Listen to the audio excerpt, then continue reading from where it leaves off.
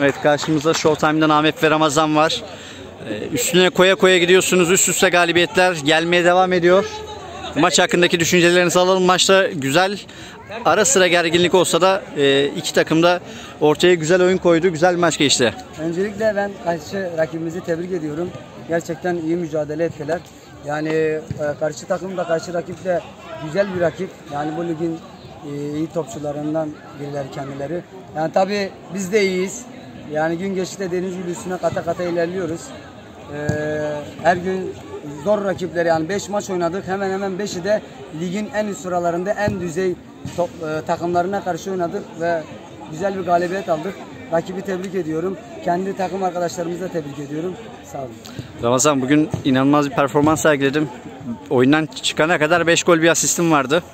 Ee, takım arkadaşların da seni besliyor. Bugün Ahmet kenardaydı. O da Evet, takımın Ahmet önemli bir parçası. Görüyorsunuz ayağı e, biraz sıkıntılı. Bizim Perşembe günü e, bir final maçımız var Şakirpaşa'da.